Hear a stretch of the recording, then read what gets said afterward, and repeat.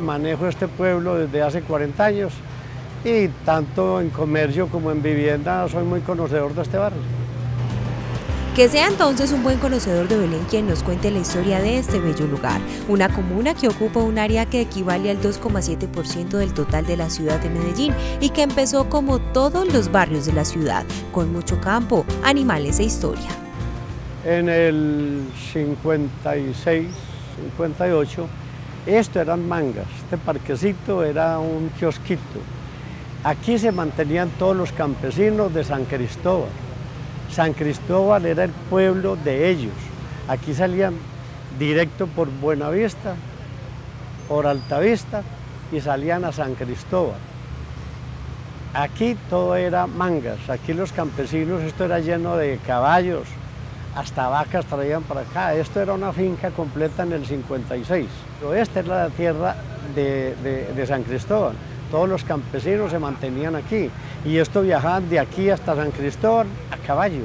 No había carretera, sino que eran caminos para, para caminos de herradura. El comercio de frutas, verduras y todos los alimentos que salían desde las fincas de San Cristóbal se comercializaban en Belén, desde ahí que esta comuna hasta hoy continúe teniendo la tradición de los llamados mercados campesinos. Era lo que más conocían de aquí de Medellín, y lo que más cerca les quedaba por el camino que traían de herraduras. Esto era directo, era casi una autopista de aquí a San Cristóbal.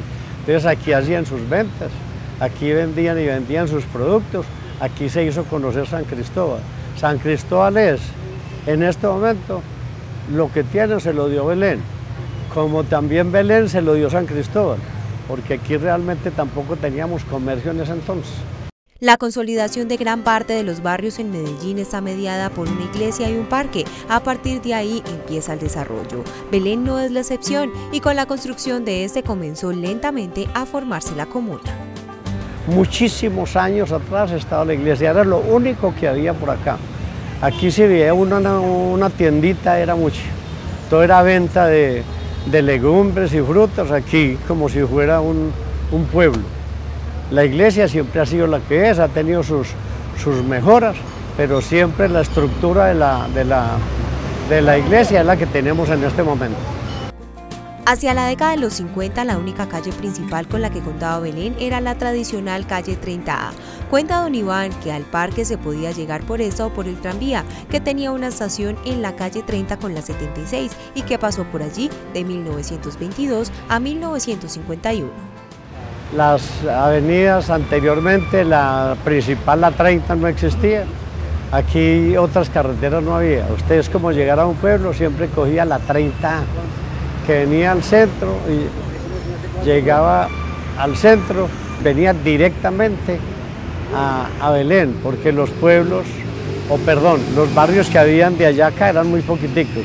Entonces los buses venían casi directamente a Belén digámoslo, al pueblo de Belén para decirlo en ese entonces.